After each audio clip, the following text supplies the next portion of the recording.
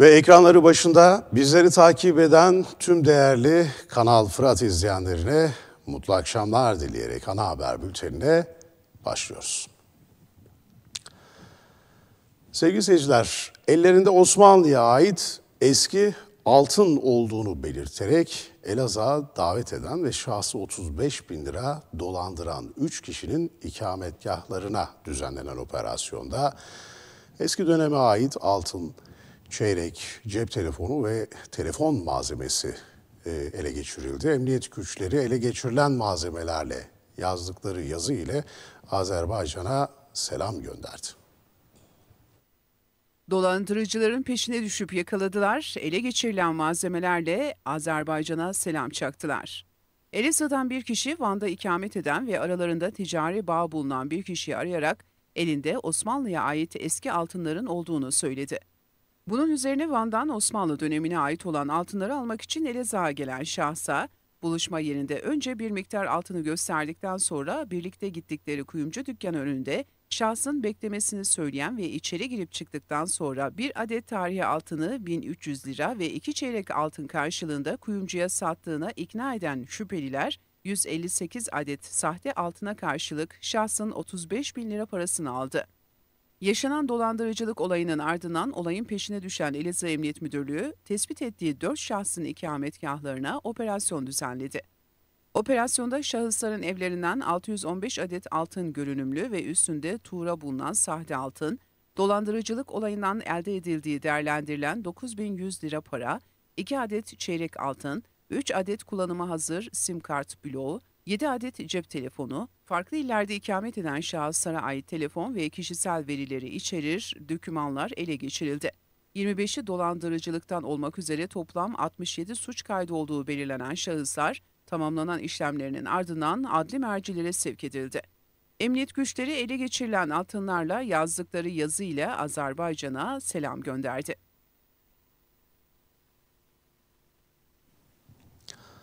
Elazığ Orman Bölge Müdürlüğü'ne alınacak olan 5 daimi işçi için noter huzurunda kura çekimi gerçekleştirildi. Elazığ Orman Bölge Müdürlüğü daimi işçi kadrosundan çalıştıracağı personel alımı için kurallar çekildi. Orman Bölge Müdürlüğü Elazığ'da çalıştırılmak üzere iki grader, bir dozer operatörü, Malatya'da çalıştırılmak üzere bir grader operatörü ve Muş'ta çalıştırılmak üzere iş makinesi operatörü toplam 5 daimi işçi kadrosuna alımı için İşkur üzerinden ilana çıktı. Müracaatların sona ermesinin ardından başvuru yapanlar arasından şartları sağlayanlar kura çekimine girdi.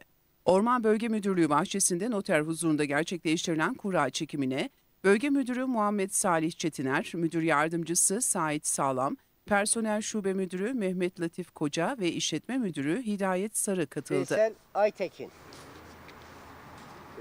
Asil. Asil yazdık.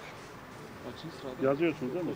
Bölge Müdürü Muhammed Salih Çetiner daha önce alınan 700 personelin görevine başladığını, geri kalan personeller için de İşkur üzerinden yeniden ilana çıktıklarını söyledi. Bir buçuk ay önce Orman Genel Müdürlüğümüz Türkiye genelinde 700 tane e, kadrolu e, işçi alımı yapıldı. Tabi bu işçi alımının 20 tanesi Elazığ Orman Bölge Müdürlüğü'ne bağlı 8 ile taksimatı yapıldı. Bunlardan müracaatlar İşkur üzerinden yapıldı. E, toplam 20 kişiden 15 kişinin şartları e, uygundu. Bunların alımları gerçekleşti ve e, 10. ayın 15'inden itibaren de bunların e, işe girişleri yapıldı. Şu an fiilen bizim personelimiz olarak göreve başladılar. Onlara hayırlı olsun diyorum. Geri kalan 5 personelimizin şartları tutmadığı için eksik kalan bu kadroyu da Orman Genel Müdürlüğü tekrar İşkur üzerinden başvuruları aldı. Başvuru sonuçları açıklandı. Ee, şu an bu müracaatlar için burada toplanmış durumdayız. Çetiner, kurada ismi çıkanların görevlerine başlayacağını söyledi. Müracaat say- sayısına göre 4 katı e, noter kura çekiminde belirleyecek. 4 asil, 4 yedek. Bu e, noterin huzurunda çekim olduğu için dolayısıyla herhangi bir e, yal- yanlış algıya vesaire gerek kalmadan e, tamamen hakkaniyet ölçüsünde bir e, noter huzurunda çekim olacak. Bunlar da e, bizim Orman Bölge Müdürlüğümüzün e, web sitesinde e, duyurular kısmında e, yayınlanacak. İş makinesi olduğu için iş makineleri özellikle önem arz eden bir durum.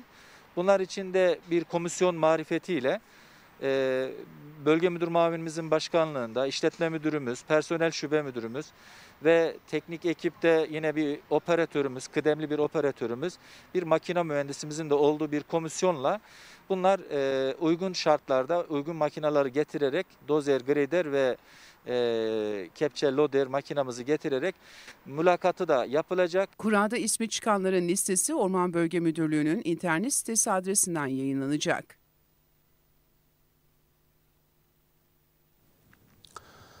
Cumhurbaşkanı Recep Tayyip Erdoğan kabine toplantısı sonrası millete seslendi. Televizyonlarımız genel yayın yönetmeni Zeki Akbay'ın da yer aldığı basın toplantısında Cumhurbaşkanı Erdoğan 2023 vizyonumuzla milletimizin karşısına çıkacağız dedi. Cumhurbaşkanı Recep Tayyip Erdoğan kabine toplantısı sonrası millete seslendi. Karadeniz'de keşfedilen doğalgazın her metrekübü bu ülkenin ve milletin refahı, huzuru, güvenliği, geleceği için kullanılacaktır. Gazın sisteme verilmesiyle milletimiz bu hizmete daha hesaplı şekilde ulaşma imkanı elde edecektir. Televizyonlarımız genel yayın yönetmeni Zeki Akbay'ın da katıldığı basın toplantısında millete seslenen Cumhurbaşkanı Erdoğan, ülke ve dünya gündemiyle ilgili açıklamalarda bulundu. Bugün de dünyadaki siyasi, ekonomik, ideolojik ve askeri çatışmaların çok önemli bir kısmı çevremizde cereyan ediyor.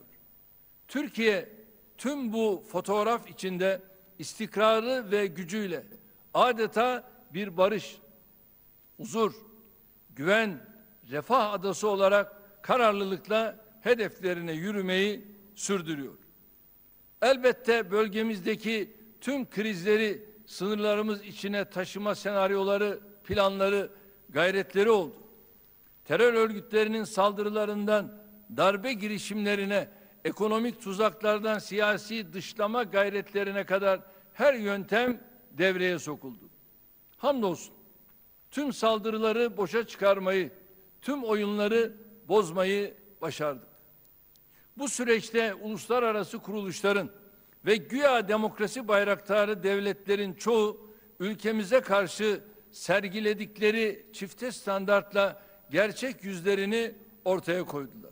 Erdoğan girdiğimiz mücadelelerden başarıyla çıktıkça bölgemizle birlikte dünyaya umut aşılıyor, umut veriyoruz. Bu tablo birilerini rahatsız ediyor dedi. Yıllarca Türkiye'deki yönetimleri demokrasiyi yeterince uygulamamakla itham edenler şimdi demokrasi dışı yollarla ülkemizde yönetim değiştirme hesabı içine girmiştir.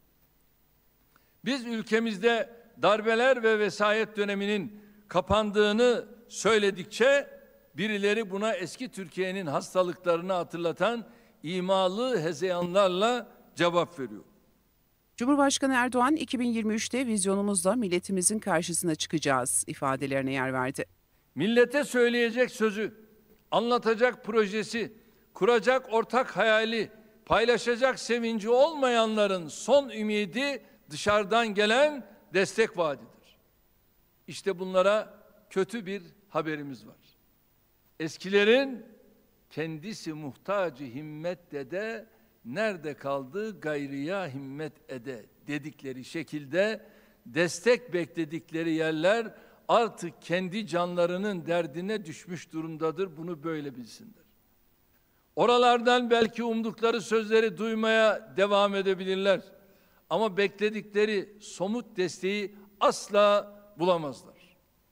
Kendilerine tavsiyemiz eski devir alışkanlıklarını bir kenara bırakıp bizim yaptığımız gibi gözlerini ve gönüllerini sadece milletimize çevirmeleridir. Halkımızın 2023 seçimlerinde bu değerlendirmeyi en güzel şekilde yapacağına ve herkesi hak ettiği yere yerleştireceğine inanıyorum. Cumhurbaşkanı yerli aşı ile ilgili denemelerin iki hafta içerisinde başlanacağını kaydetti. Denetimler etkin şekilde sürdürülecek. Özellikle temaslı kişilerin takibi çok daha sıkı şekilde yapılacak. Yerli aşı çalışmalarında iki hafta içinde insan üzerinde deneme safhasına ulaşılacağı görülüyor. Dünyadaki aşı çalışmalarının ülkemize uygulanabilirliği hususunda da önemli gelişmeler kaydettik.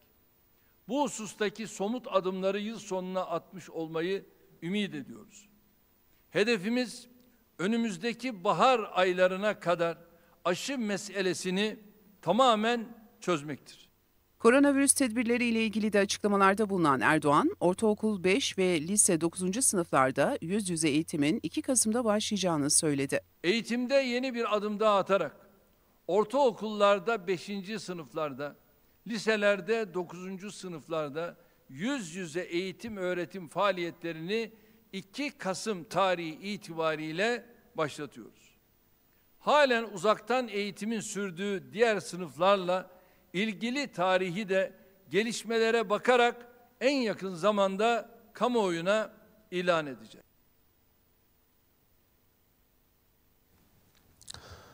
Sevgili seyirciler, Elazığ'da önemli yatırımları bulunan Fatinoğlu Holding bir İtalyan firmasını bünyesine katarak yatırımlarını sürdürmeye devam edecek. Fatinoğlu Holding Yönetim Kurulu Başkan Vekili Ali Fatinoğlu, Elazığ'ın göz bebekleri olduğunu belirterek önümüzdeki günlerde Elazığ'a yeni ve istihdamın yüksek olduğu bir projeyi daha kazandıracaklarını söyledi. Sanika markasıyla 5 ana iş kolunda faaliyet yürüten Fatinoğlu Holding, 2019'da deneme mahiyetinde başladığı forklift üretimini ileri seviyeye çıkaran ve 3 ayrı fabrikaya dönüştürerek son olarak İtalya'da Pegasolift şirketini satın aldı. İtalyan devi Pegasolift'i satın alarak iş kolunu artırdıklarını ifade eden Fatinoğlu Holding Yönetim Kurulu Başkan Vekili Ali Fatinoğlu, Elazığ'a yeni yatırımlar yapacaklarını müjdeledi. Türkiye'de farklı iş kollarında ekonomiye katkı sağladıklarını ifade eden Fatinoğlu Holding Yönetim Kurulu Başkan Vekili Ali Fatinoğlu, Elazığ'ın göz bebekleri olduğunu belirterek, önümüzdeki günlerde yeni ve istihdamın yüksek olduğu bir projeyi daha Elazığ'a kazandıracaklarını söyledi. Elazığ'da altyapı sistemlerini üreten 170 bin metrekare mevcut tesislerinin yanı sıra Elazığ'a katma değer sağlayacak ve yeni istihdam alanları yaratacak proje yatırımlarının müjdesini veren Fatinoğlu, Nesime Fatinoğlu ile birlikte şehre gelerek yeni yatırım alanlarında incelemelerde bulunacaklarını kaydetti. Şimdi her seferinde söylüyoruz Allah devletimizden razı olsun. Devletimizi seviyoruz ve devletimizin her daim yanındayız. Ama şimdi evler yapıldı, evler teslim edilmeye başlanıyor, kurallar çekiliyor ve sıkıntılar büyümeye başladı. Dilek ve Petek sitesi sakinlerinin ardından şimdi de Mustafa Paşa ve Rüstem Paşa mahallesinde sesler yükselmeye başladı. Mahalle sakinleri kura istemiyor. Evlerin metrekarelerinin arttırılmasını bekliyor. Dilek ve Petek sitesi sakinlerinden sonra şimdi de Mustafa Paşa ve Rüstem Paşa mahallesi sakinleri seslerini duyurmaya çalışıyor. Evim dükkanım yıkıldı. 9 aydır 9 aydır henüz daha bir su basamağı çıkılmadı. Bunu kimse bir net bir bilgi vermiyorlar. Kimsenin bir bilgisi yok. Yani bize çıkıp birisi en azından bir ne olacak, ne yapılacak, ne şey edilecek bir bilgi versinler yani.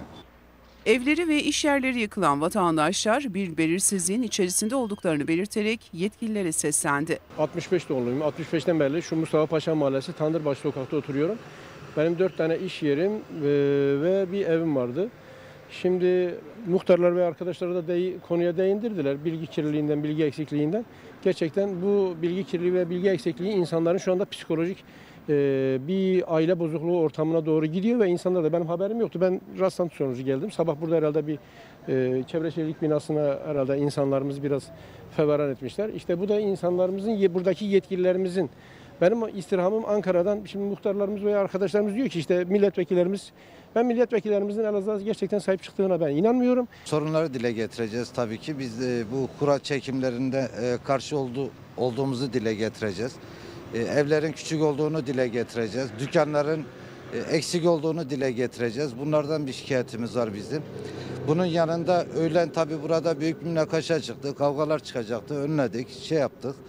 E, bizim de tabii e, Vari'den, 5 Elazığ milletvekilinden, belediye başkanından, AFAD İl Müdürü, Şehircilik İl Müdürü, STK'lılar bunlar hepsi toplansınlar, gelsinler Rüstem Paşa'ya, e, Mustafa Paşa'ya bütün bu mahallenin şeyini el birliğiyle herkes çözsünler. Biz söyleyeceğim bu kadardır. Yani olaylar büyümesin de artık. Bugün zor önledik. Kıvılcım e, vurdu bugün. Yani biz burada olmasaydı, iki muhtarımız burada olmasaydı kıyamet kopacaktı.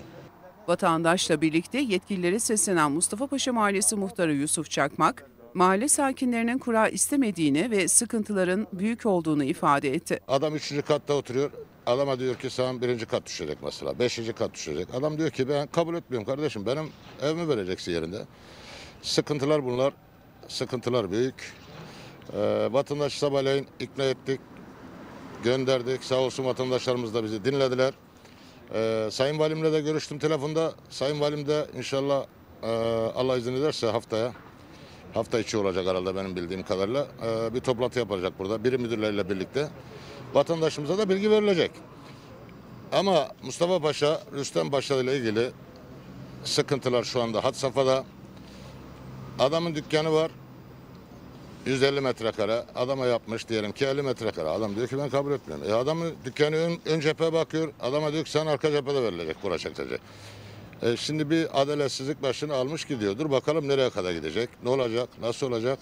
İnşallah bunu da Cumhurbaşkanımız bir el atarsa bunu da çözecek bakanlarımızla birlikte. Rüstempaşa Mahalle Muhtarı Yusuf Gül, yıkılan evlerin yerine inşa edilen konut sayılarının az olduğunu ifade ederek, yüzlerce vatandaş her gün muhtarlığa geliyor dedi. Yani yıkılıp yapılan evler eksik kalıyor, tam çıkmıyor. İş yerleri eksik kalıyor. Yani vatandaş mağdur durumda. Esnafı da aynı, ev sahipleri de aynı. Şimdi metrekareleri küçük çıkmış itiraz ediyorlar. Kura çekimine itiraz ediyor. Yani esnafın iş yeri kaybolmuş itiraz ediyor. Nereden verilecek bu? Şimdi dışarıdan verilecek. Yani bizim buralarda sıkıntımız büyük. Yüzlerce vatandaş her gün muhtarlığa geliyor.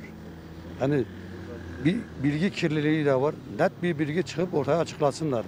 Bu, bu kadar ev eksik, bu kadar iş yeri eksik.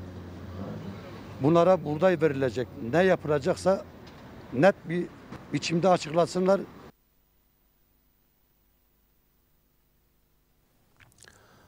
Cumhuriyet Halk Partisi il yönetimi esnaf oda başkanları ile bir araya geldi. Cumhuriyet Halk Partisi il yönetiminin ilk durağı Kahveciler Odası'ydı.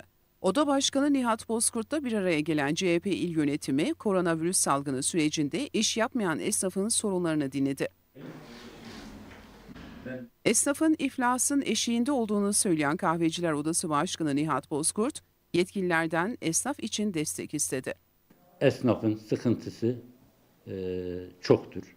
Nededir? Bir gün 8 ayda beri kahvelerimiz hep kapalı ve kapalı olmadan resmiyette bir kapalı yok. 1 Haziran'da açıldı ama oyunlar oynamadığı için kimse kahvelerimize gitmiyor. Ve kahvelerde kimse yok. Biz devletimizde, devletimizde bunlara en bir nebze olsa da bunlara bir destek istiyoruz. Bir yani esnafımıza faizsiz yan bir kredi, yan hibe talep ediyoruz.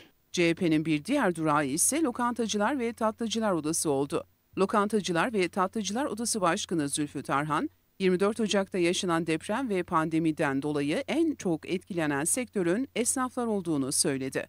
24 Haziran'da bir e, deprem yaşadı Elazığ. Akabinde tüm dünyada ve Türkiye'de olduğu gibi ilimizde de bir pandemi süreci yaşadık ve halen daha yaşamaya devam ediyoruz. Tabii bu süreçte bu sıkıntıları yaşayan en büyük e,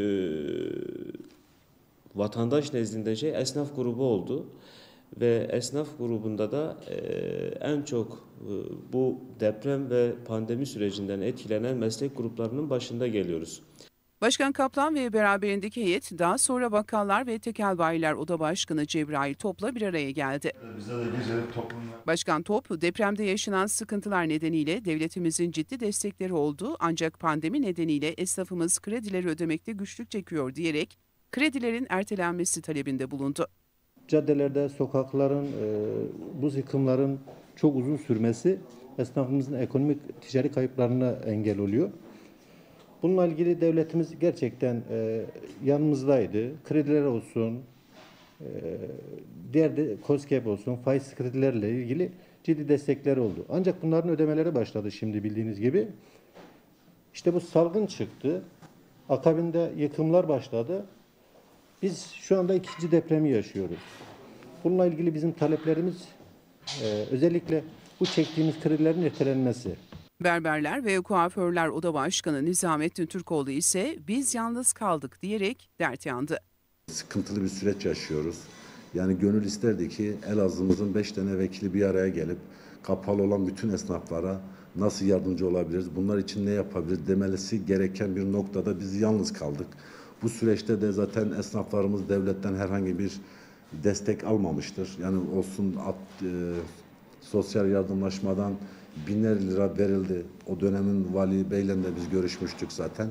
Esnafsın, vergi mükellefisin, yok annem birlik, yok babam birlik derken de esnafların çoğu bu işten faydalanamadı. CHP İl Başkanı Zeki Kaplan ise esnafın çektiği krediyi ödemekte zorluk çektiğini söyledi. deprem sürecinde vatandaşlarımız evi yıkıldığı için mağdur oldular. Şehrin yapısı adeta allak bullak oldu. Ee, Yollar geçilemez. Şehirde artık yaşanılamaz hale geldik. Yollar kapalı. Esnaflarımız bundan dolayı zarar görüyor. Biz hepimiz görüyoruz. Kahvecilerin uzun süredir 80 güne yakın kahvelerinin kapandığını, kafelerin de kapandığını, lokantacıların da yine bu şekilde pandemi nedeniyle kapandığını ve berber ve kuaförlerin de 50 güne aşkın bir süre içerisinde kapandığını biz bunları gözümüze gördük. Arkadaşlarımız da değerli başkanlarımız da gündeme getirdiler.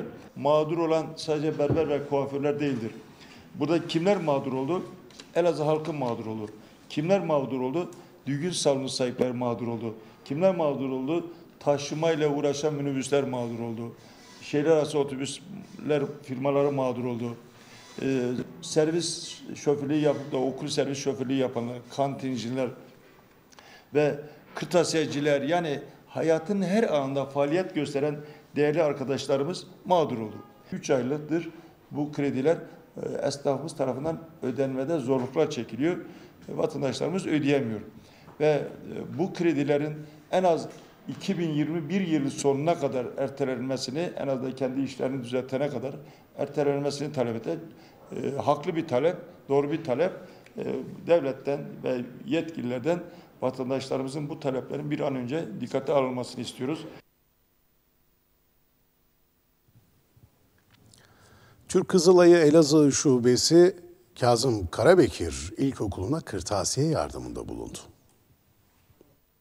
Türk Kızılayı Elazığ Şubesi Salıbaba Mahallesi'nde bulunan Kazım Karabekir İlkokulu'nda eğitim gören öğrencilere kırtasiye yardımında bulundu. Hayırseverlerin destekleriyle hazırlanan çanta, kırtasiye ve eğitim setinden oluşan malzemeler Türk Kızılayı Elazığ Şube Başkanı Rahman Kızılkaya ve gönüllüler tarafından okul idarecilerine teslim edildi.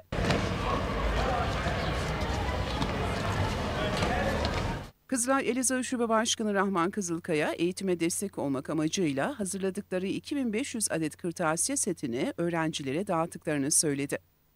Türk Kızılay Elazığ Şubesi olarak sosyal sorumluluk projesi kapsamında eğitime destek olmak amaçlı ilk orta ve lise düzeyinde hazırlamış olduğumuz 2500 adet kırtasiye setimizi öğrencilerimize okul idareleriyle görüşerek dağıtımını yapıyoruz. Bu e, kırtasiye bağışını yapan hayırseverlere ben tüm öğrencilerimiz adına teşekkür ediyorum. İlkokul birinci sınıftan sonra kademeli olarak eğitimine başlayan öğrencilerimize de ben yeni eğitim öğretim yılların hayırlı olmasını temenni ediyorum. Bundan sonra da inşallah periyodik olarak eğitimlerine başlayacak tüm öğrencilerimize başarılar diliyorum. Ee, bu dağıtımımıza biz öncelikle Salkay İlköğretim'den başlayıp Kovancılar'da bir köy ilkokulumuza devam ettirerek bugün şehir merkezinde bundan sonra da belirlemiş olduğumuz dezavantajlı bölgedeki e, tüm okullara elimizden geldiğince imkanlarımız ölçüsünde dağıtımlarını sağlayacağız. E, ben tekraren bütün öğrencilerimizin yeni eğitim ve öğretim yıllarını kutluyorum. Onlara başarılar diliyorum. Yurtbaşı Belediyesi ile Hizmet İş arasında işçilerin sosyal haklarına katkı sunmak amacıyla protokol imzalandı. Protokolle çalışanlara iki dönem için toplam %30 zam öngörülüyor. Hizmet İş Sendikası ile Yurtbaşı Belediyesi arasında protokol imzalandı. İmzalanan protokolle belediyede çalışan işçiler için birinci dönem %15, ikinci dönem için %15 olmak üzere toplam %30 zam öngörülüyor. İşçilerimize hayırlı olsun. Allah hayırlı uğurlu Allah hayırlı uğurlu etsin. Hizmet İş Sendikası Şube Başkanı Kazım Cavlı, Yurtbaşı Belediyesi ile yaptıkları görüşmeler sonucunda çalışan personelin haklarına katkı sunduklarını söyledi. Burada toplanmamızın gayesi Hizmet İş Sendikamız ile Yurtbaşı Belediyesi arasında 696 sayılı yasayla kadroya geçen arkadaşlarımızın imza töreni imzalaması için buradayız. Yapılan görüşmeler neticesinde Sayın Belediye Başkanı ve yetkili arkadaşlarımızla yapmış olduğumuz istişareden dolayı birinci yıl bütün yömyelerle sosyal haklara yüzde on beş, ikinci yıl tekrar yüzde on beş zam almış bulunmaktayız. Bu zamın işçi arkadaşlarımıza, sendikamıza, belediyemize hayırlı uğurlu olmasını Cenab-ı Allah'tan niyaz ediyor. Değerli belediye başkanı ve yetkililerine hepsine ayrı ayrı teşekkür ediyorum. Yurtbaşı Belediye Başkanı Yasin Yılmaz, çalışan personelin yanında olduklarını belirterek protokolün hayırlı olmasını diledi. Biz de işçilerimize e, birinci dönem yüzde on beş, ikinci dönem yüzde on beş zam verdik. Bütün personelimize hayırlı olsun. İnşallah ileriki tarihte tabii ki daha da yükselteceğiz. Gönlüm istiyordu ki tabii yüzde yirmi, yüzde yirmi beşleri vermek. Bütçemiz ona göre ayarladık. Ee, inşallah bu da işlerimizi memnun etti. Yüzde on beş, yüzde on beş. İnşallah bundan sonra da daha da iyi olacak. Geldiğim günden bu yani işçilerimizin bir tek aylıkları içeride kalmamış. İnşallah bundan sonra da kalmayacak. Biz bütçemizi ona göre ayarlıyoruz. İşçilerimiz mağdur olmasın, aylıklarını zamanda alsın, işine baksın. Tüm temennimiz budur. Karakoçan'da eğitimlerini tamamlayan kadın çiftçilere sertifikaları ve DAP destekli %70 hibeyle süt sağım makinesi verildi. Karakoçan İlçe Tarım ve Orman Müdürlüğü'nce yürütülen kadın çiftçilere süt sığırcılığı eğitimi projesi tamamlandı. Bir haftalık eğitimde kadın çiftçilere en ekonomik, kullanışlı, sağlıklı, yaşadığı bölgeye uygun ahır tipi, rantap büyüklüğündeki model işletme, en ekonomik, verimli ve kaliteli süt üretimi konularında bilgiler verildi. Eğitimi tamamlayan kadın çiftçilere düzenlenen törenle sertifikaları verildi. Törene Karakoçan Kaymakamı Abdullah Şahin, Erzurum DAP Bölge Kalkınma İdaresi Başkanı Profesör Doktor Osman Demirdöğen, Elazığ İl Tarım Müdür Yardımcıları Vedat Ergün ve İsmail Gürbüz, Karakoçan İlçe Tarım ve Orman Müdürü Mehmet Yıldız, Karakoçan Ziraat Odası Başkanı Necmettin Turgut katıldı.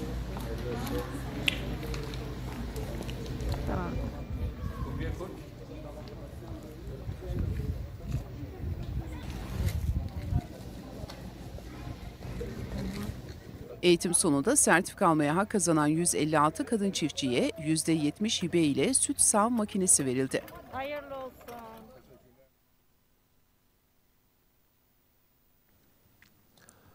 Elazığ'da kontrolden çıkan hafif ticari araç karşı şeride geçip otomobile çarptı. Kazada 4 kişi yaralandı. Yoldan dışarı dışına çıkın abi. Doğukent Mahallesi Seyda Molla Bahri Bulvarı'nda 35 plakalı hafif ticari araç sürücüsünün direksiyon hakimiyetini kaybetmesiyle karşı şeride geçerek 34 plakalı araçla çarpıştı. Yarısı kadar yükseklikten düştü. Bak böyle geldi geldi.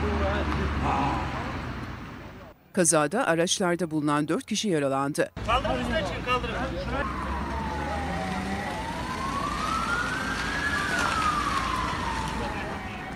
Kazayı gören vatandaşların ihbarı üzerine olay yerine sağlık ve polis ekipleri sevk edildi. Yaralılar olay yerinde yapılan ilk müdahalenin ardından ambulanslarla kentteki hastanelere kaldırıldı. Yol boş. Ben biraz bastım. Eve indim. Vallahi bir baktım beyaz bir şey geliyor. Sanki bir kaya geliyor. Kazayla ilgili inceleme başlatıldı.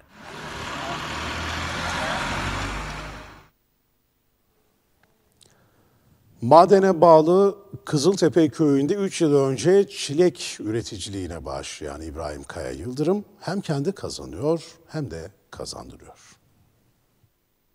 Hem kendi kazanıyor hem de kazandırıyor. Madene bağlı Kızıltepe köyündeyiz. Gördüğünüz alanda çilek üretimi yapılıyor.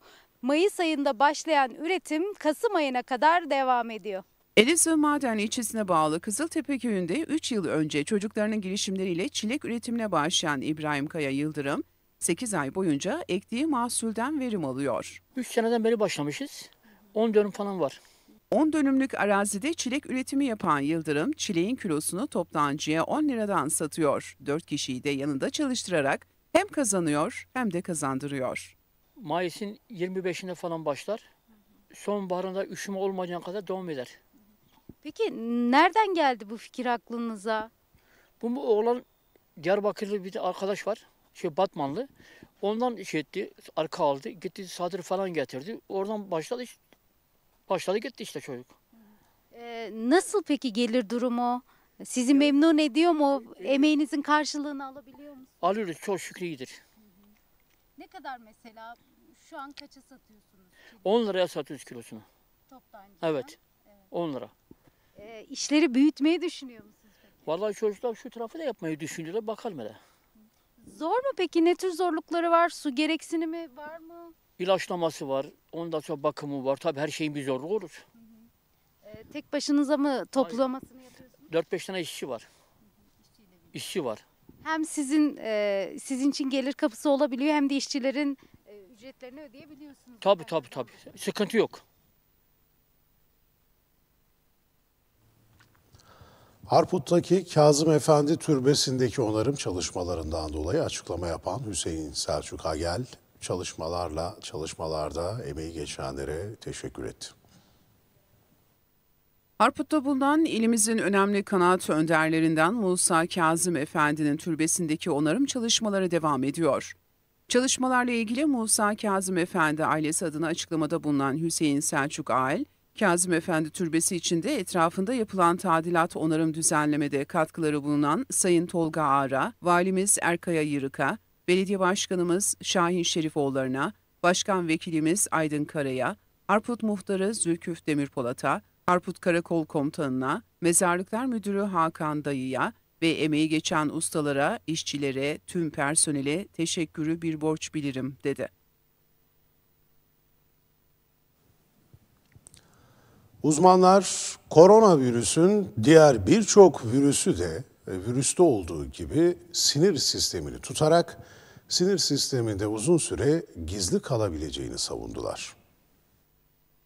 Koronavirüs hastalığının birçok virüste olduğu gibi sinir sistemini tuttuğuna ve uzun süre gizli kalabileceğine dikkat çeken nöroloji hastalıkları uzmanı Doktor Oktay Kapan, hastaların yaklaşık %30'unda COVID-19'un sinir sistemine tutunduğunu, hatta bu oranın daha fazla olduğunu tahmin ettiklerini söyledi. Salgının ilk belirlendiği tarihten bugüne şunu gördük. Hastaların yaklaşık en az %30'unda virüs sinir sistemine tutunmuştur. Bu oranın daha fazla olduğunu düşünmekteyim ben. Koronavirüs şüphelerinde en çok neye dikkat ediyoruz? Ateş, öksürük ve nefes darlığı. Bunun yanında birçok hastada baş ağrısı, kas ağrısı, koku kaybı, tat kaybı hatta inmelere sebep olabilmektedir. Bunlara e, ek olarak baş dönmeleri, bilinç bozukluğu, nöbet ile hasta karşımıza gelebilmektedir. Koronavirüs enfeksiyonu hastalarında e, hangi nörolojik bulgular görülebilir? Bunlar baş ağrısı, baş dönmesi, bilinç bozukluğu, felçler, yüz veya beyin olabilir, dengesizlik, nöbetler, uyku bozuklukları, tat kaybı, his kaybı, görme azlığı, çift görme, bulanık görme gibi yaygın kas ağrıları, kas krampları, halsizlik, kırgınlık, yorgunluk, bitkinlik sayabilirim.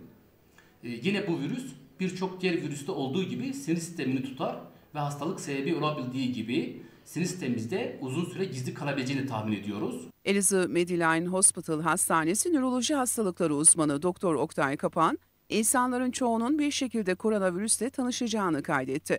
İnsanların çoğu bir şekilde koronavirüs ile tanışacak gibi. Çünkü etrafımızda, iş yerimizde, mahallemizde, hatta apartmanda veya akrabalarımızın en az birkaçında koronavirüs olmayan yoktur. Covid-19 salgınına karşı korunma yolları hakkında da önerilerde bulunan Kapan, bol su, güneşlenme, D, C ve B grubu vitaminlerine dikkat çekti. Bağışıklık sistemimizi güçlendirmek gerekir. Bunun için basit birkaç tavsiyede bulunmak istiyorum. Kişinin bol su içmesi, mümkün olunca olduğu güneşlenmesi, D vitamini alması, C vitamini alması, B grubu vitaminlerini alması, sağlıklı ve kaliteli uyku uyuması, çinko ve selenyum gibi elementleri içeren maddeleri tüketmesi, egzersiz ve, ben, ve benzeri açık hava yürüyüşleri yapması, karbonhidrat ve şekerden uzak durması, mevsim sebzeleri tüketmesi, sigarayı bırakması ve azaltması gerekmektedir.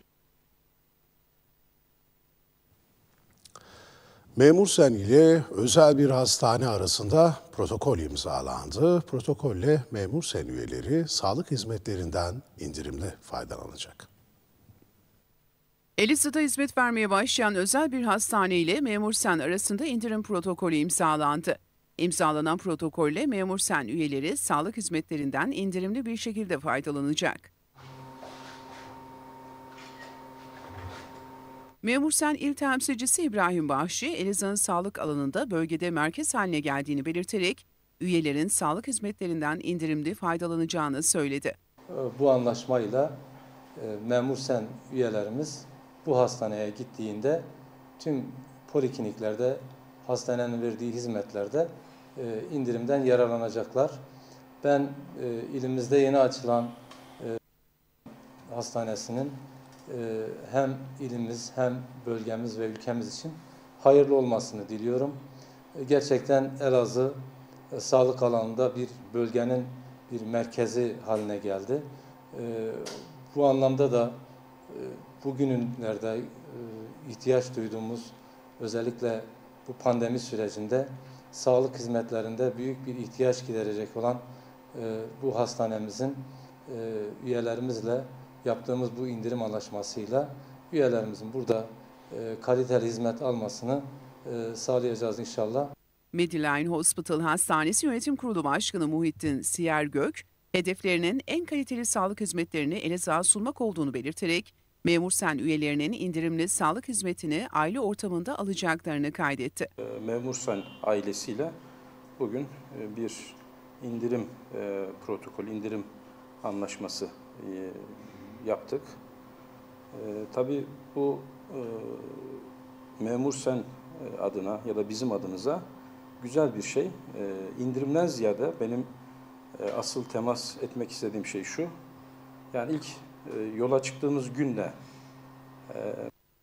bir Elazığ markası ve inşallah bir Elazığ'a ait olarak güzel bir gelecek vaat ediyor. Bizim hedefimiz şu, indirim muhakkak olacaktır. Bu olmazsa olmaz bir avantaj ama biz bunun yanında asıl başkanımıza ve diğer başkanlarımıza e, vaadimiz şu. Yani bu tabii bizim için bir yükümlülük. E, kaliteli, e, daha huzurlu bir aile ortamı. Yani bizim hedefimiz bu. Kovancılar'da 16 metrekarelik dükkanında 45 yıldır demiri döverek şekil veriyor demirci ustası. Demirci ustası üç çocuğunu dükkandan kazandığı para ile büyütüp okuttu. Kovancılar ilçesinde 16 metrekarelik dükkanı bulunan 62 yaşındaki demir ustası Davut Beyaz Elma, 45 yıldır eski yöntemlerle demire şekil vererek ekmeğini kazanmayı sürdürüyor. Dört çocuk babası Davut Beyaz Elma, ilkokulun ardından bir demircinin yanında işe girerek usta oldu.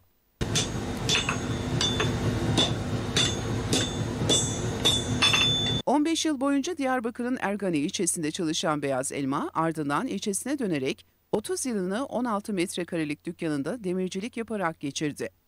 45 yıl boyunca demirleri dövüp şekil veren, ekmeğini demirden çıkartan Beyaz Elma, üç çocuğunu okutarak iş sahibi yaptı. Demircilik ata mesleğidir.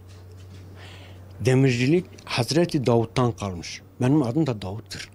Benim adım da Davut'tur. Bunu çocukluktan beri yapıyorum. Bu işi çocukluktan. İlkokuldan sonra artık bu işi yapıyorum. Bundan böyle 15 sene önce, e, 15 sene e, Ergani'de yaptım. Ha, 34 senedir de bu Konya'larda bu işi yapıyorum. E, Eskiden işimiz çoktu. Çalışıyorduk. Kazanıyorduk. Ama şimdi bitmiş demircilik artık tükeniyor. Koskoca Elazığ'da ya iki tane kalmış ya üç tane. Demircilik işinden emekli olan Beyaz Elma, liseye giden çocuğunu okutmak için yine de çalışmaya devam ediyor. Şimdi öyle hale gelmişik çırak bile yetiştiremiyoruz. Kimse yok. Gelip çalışmıyor kimse. Demircilik artık bitmek üzeredir. Ben 45 yıldır ben bu işi yapıyorum. 45 yıldır ben bu işi yapıyorum. Yani güç isteyen bir meslektir. Güç isteyen bir meslektir bu şey. Artık bize daha yaşımız olmuş 62 63 daha çalışamıyoruz. Daha biz de yapamıyoruz.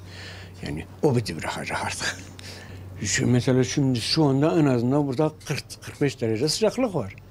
Hem bu baraka mesela bu ocağın ısısı var.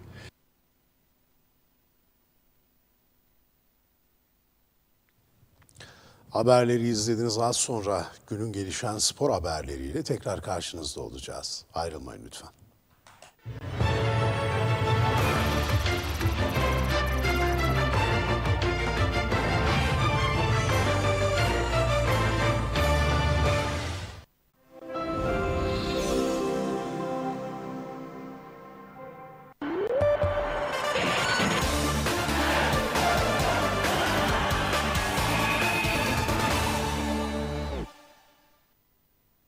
Ve spor haberleriyle tekrar karşınızdayız. Sevgili seyirciler, ikincilik Kırmızı grubun 6. haftasında sahasında Kastamonu Spor'u konuk eden Elazığ Spor, maçın başında 1-0 geriye düştüğü karşılaşmanın ikinci yarısındaki mükemmel futbolu ile rakibini 3-2 mağlup etme başarısını gösterdi.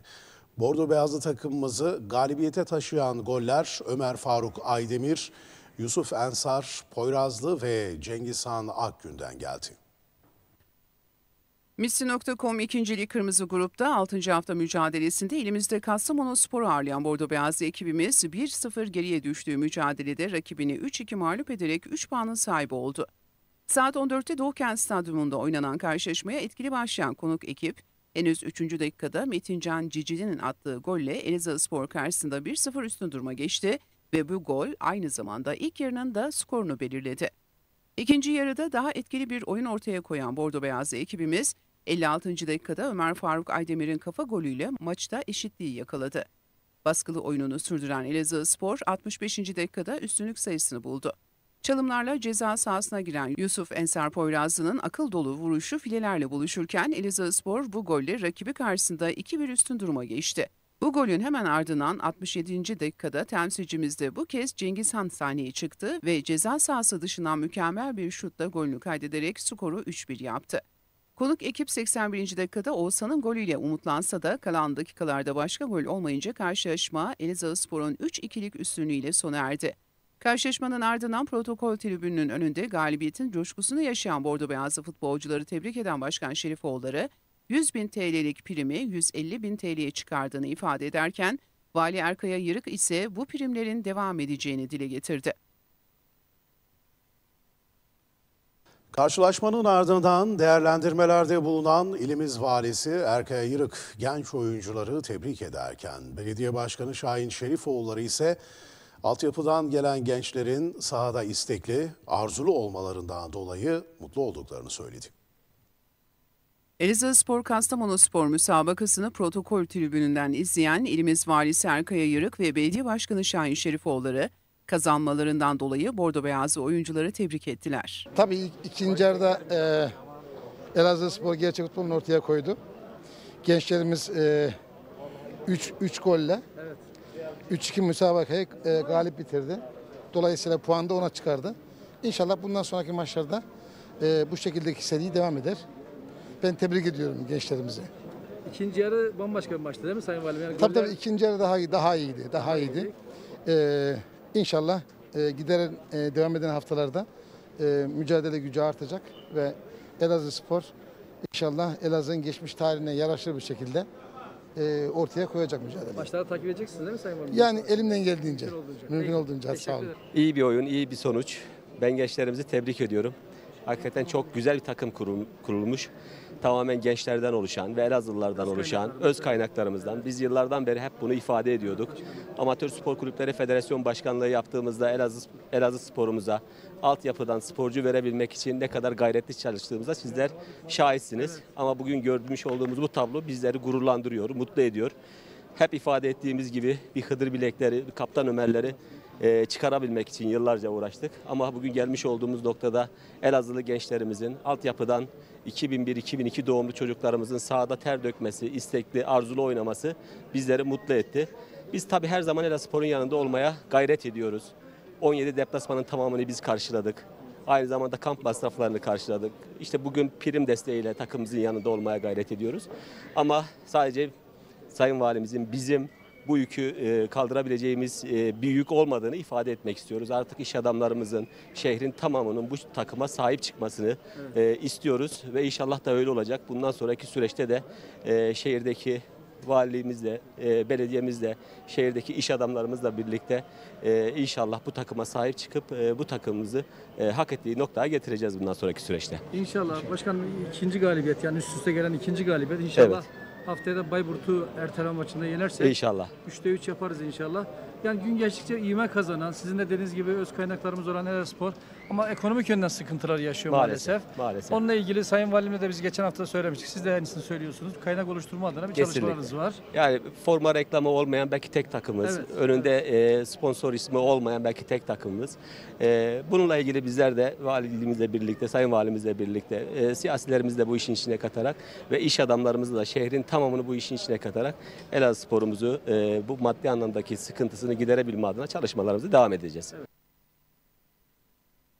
Elazığ Spor Kulüp Başkanı Selçuk Öztürk Süper Lig ve 1. Lig dahil olmak üzere başkanlıkta 7. dönemi olduğunu belirtirken bu sezonki kadar heyecan duymadığını ifade etti. Karşılaşmanın ardından Kanal Fırat mikrofonlarına konuşan Elazığ Spor Kulüp Başkanı Selçuk Öztürk, 7 dönem kulüp başkanlığı yaptığını hatırlatarak gençlerin sahadaki başarısıyla birlikte bu sezon bambaşka bir heyecan duyduğunu ifade etti. Bu takım geçen senenin playoff'unu oynayan takım yani eski oyuncular o ciciler falan duruyor yani takım taş gibi takım. Ee, ha iki tane pozisyonları var işte. Bir ikinci dakikada yedik abondan olduk. Ee, bir de işte bireysel bir hatadan yedik. Onları da telafi edeceğiz. Ama önemli olan o çocuklarımız son dakikaya kadar candan baştan mücadele etmesi. Ee, duygulanıyorum yani. Evet. Kelimelerle anlatamıyorum. Demin söyledim diğer kanalımıza. Yedinci dönemim. Bakın Süper Lig'de dahil. Bu çocukların maçını izlerken daha fazla heyecan ve gurur duyuyorum. Daha gali- galibiyet bir anlam taşıyor bizim için. Tabii bakın ne diyorum ya Süper Lig gördüm iki dönem. Üç dönem PTT gördüm. Yani mesela dün gece Ankara'dan geldim. Bir heyecanlıyım. Bak sabah 7-7.30'da öyle bir dalmışım. 9'da kalktım bir, bir saat.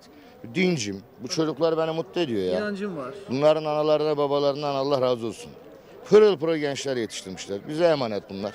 Biz de inşallah Elazığspor'un altın temelleriyle bu çocuklarımızı en iyi yere taşıyacağız. İnşallah yeni Hıdırlar, yeni İnşallah. Ömerler. Ya nostalji yaşıyoruz şu an. Bakın şimdi enteresan. Ee, hadi tribünler kapalı virüsten dolayı. İnanın dünden beri 150-200 150-200 eşimiz dostumuz aramış. Belki sizi arayanlar vardır. Ya bu maçı nasıl geliriz izleriz? Bu çocukları nasıl izleriz? Yani 67, 75, 77 ambiyansı var ya Coşkun abi. Öyle bir nostalji yaşıyoruz ya Elazığ'da. Primini de ödedim. Geçen primi de ödedim. Şimdi bu primi Şahin Başkanım Allah razı olsun açıkladı. Yani biz bu çocukların cebine para koyduğumuz sürece bunları mutlu ederiz. Ha kon- otokontrolümüzü de tutuyoruz. Kulüpten çıkarmıyoruz. Şımarmamalar için elimizden geleni yapıyoruz ki. Beslenmelerine dikkat ediliyor. Beslenmelerine tabii ki yani her şey minimize tam bir akademi takımı yolunda gidiyoruz. İnşallah. İnşallah. Ben hep anlatıyorum. Altın Ordu takımı oyuncuları sadece İzmirli değil. Bütün Tabii. Türkiye'den toplama. Taramışlar. Bütün Türkiye'den. Şimdi bizdeki cevhere bakın. 32 oyuncumun 27'si 26-27'si bu toprağın çocuğu. Evet, öz kaynağı. Tabii. Bu bir başarıdır. Ben hatırlarsanız başladığımızda bu takım küme düşer, odur, budur. Çok farklı söylemler, söylentiler oldu. Ben dedim ki bu çocuklarıma inanıyorum ben bir tarih yazacağım. Ha yarın yenilebiliriz, öbür gün yenilebiliriz. Önemli değil. Biz bunlarla savaşalım. Özümüze dönelim. güvenelim, Özümüze dönelim. Evet. Sevgili seyirciler, hayatımın en büyük zevklerinden birini yaşıyorum diyen Elazığ Spor Teknik Direktörü Levent Eriş, evlatlarımla gurur duyuyorum açıklamasını yaptı. Futbolcular Cengizhan Akgün ve Kadir Bekmezci ise ilk yarıda panik yaptıklarını ancak ikinci yarı maçı çevirdikleri için mutlu olduklarını ifade etti. Hayatımın en büyük zevklerinden birini yaşıyorum. Bu sözler Elazığ Spor Teknik Direktörü Levent Eriş'e ait.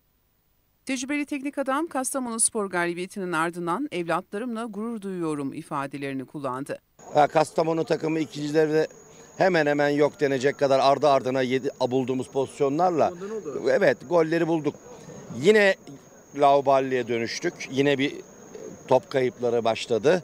O lauballik yani isim vermeyeyim birkaç tane evladımızın bu anlamdaki lauballik demeyelim de ona. Bu özgüven patlaması bazen fazla oluyor. Bazen o gençliğin getirdiği heyecan, coşku bazen böyle rehavete dönüşüyor.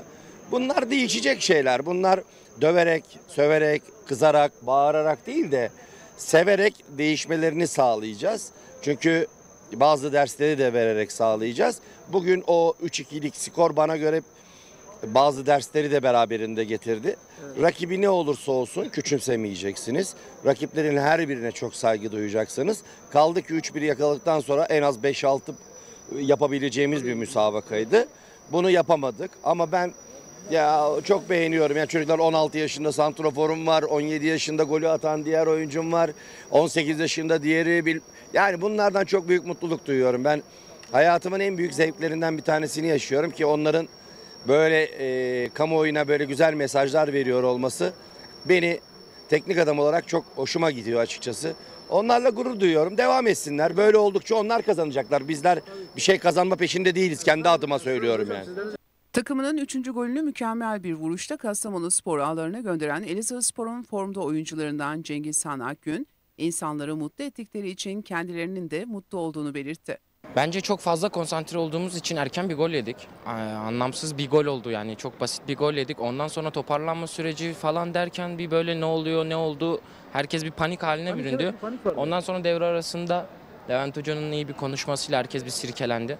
İkinci devre istediğimiz oyunu sahaya yansıttık. Mücadele ettik. Kazandık, mutluyuz. İnsanlar bizim sayemizde gülüyor, mutlu Evet, oluyor. evet. Ya burada Belediye belediye, başkanımız valimiz çok sağ olsunlar bize desteklerini her zaman gösteriyorlar. Allah razı olsun onlardan da. İnşallah böyle devam edecek. İnşallah. Biz Elazığ sporu, Elazığ halkını en iyi temsil etmeye çalışıyoruz her yerde. Tecrübeli kaptan Kadir Bekmezci ise ilk kez evlerinde kazanmanın mutluluğunu yaşadıklarını belirtti. Hani dakika 2 miydi?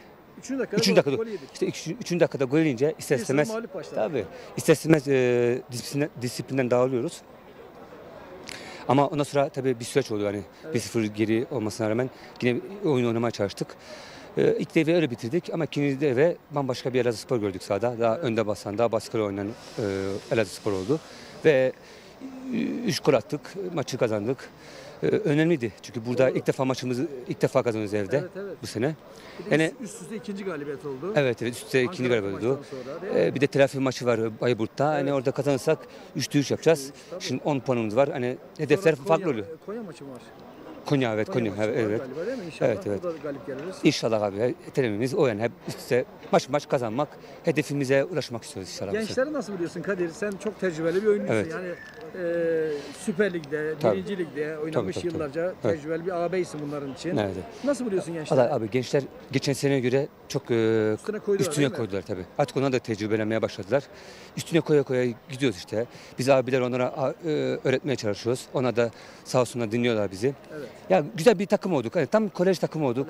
2-3 tane de, e, tecrübeli abiler. E, iyi bir takım olduğumuzu düşünüyorum ben. Yiğitcan geliyor. E, Yiğitcan da işte geldi. O da daha hazır değil. O da biraz süresi var. Ondan sonra o da gelecek. Yani iyi gidişatımız var. Artık e, Elazığ Spor Camiası, Elazığ şehri e, takımımıza destek çıkması lazım. Zaten e, bugün vali geldi, belediye başkanı geldi. prim açıkladılar. Prim açıkladılar. Buna e, mutlu verici şeyler yani. Biz arkamızda e, destek olduğumuzu görüyoruz artık yani yavaş yavaş. İnşallah işte biz de Sahada görevimizi yaparım. Dışarıdan da ona da görevini yaparsa her şey mükemmel olur. Ziraat Türkiye Kupası ikinci tur karşılaşmasında Elazığ Karakoçan Futbol Kulübü çarşamba günü evinde Diyarbakır Spor'u konuk edecek. Ziraat Türkiye Kupası'nda ikinci tura yükselme başarısını gösteren Elazığ Karakoçan Futbol Kulübü takımımız bu turda Diyarbakır Spor'u konuk edecek. Elazığ Doğukent Stadyumunda çarşamba günü oynanacak olan karşılaşma saat 13'te başlayacak. Elazığ Karakoçan Futbol Kulübü Diyarbakır Spor karşılaşmasını Malatya Bölgesi Klasman Hakimi Deniz Sercan Akgül yönetecek. Akgül'ün yardımcılıklarını Adıyaman bölgesinden Eren Özçelik ile Ağrı bölgesinden Recep Gündüz yapacak. Müsabakada dördüncü hakem olarak yine Malatya bölgesinden Kemal Dizdar görevlendirildi. Sevgili seyirciler, Türkiye Kadınlar Basketbol Süper Ligi'nde mücadele eden bir evin bir özel idare kadın basketbol takımı çarşamba günü evinde Büyükşehir Belediyesi Adana Basketbol'la karşılaşacak. Ligde oynadığı dört karşılaşmadan da mağlubiyetle ayrılan Birevim İl Özel İdare Kadın Basketbol takımı Süper Lig'in 5. haftasında evinde Adana temsilcisi Büyükşehir Belediyesi Adana Basketbol'u konuk edecek. İl Özel İdaresi Spor Salonu'nda çarşamba günü oynanacak olan karşılaşma saat 14'te başlayacak. 5. hafta müsabakalarının çarşamba günü programı şöyle. Saat 14'te Samsun Canik Belediye Galatasaray. Saat 14'te Birevim Elazığ İl Özel İdare Büyükşehir Belediyesi Adana Basketbol. 14'te OGM Orman Spor, Fenerbahçe Öznur Kablo. Saat 16'da ÇBK Mersin Yenişehir Belediyesi Çankaya Üniversitesi. Saat 16'da Beşiktaş HD Sigorta İzmit Belediyespor. Ve spor haberlerini de burada noktalıyoruz. Herkese mutlu bir akşam diliyorum. Görüşünceye dek. Şimdilik hoşçakalın.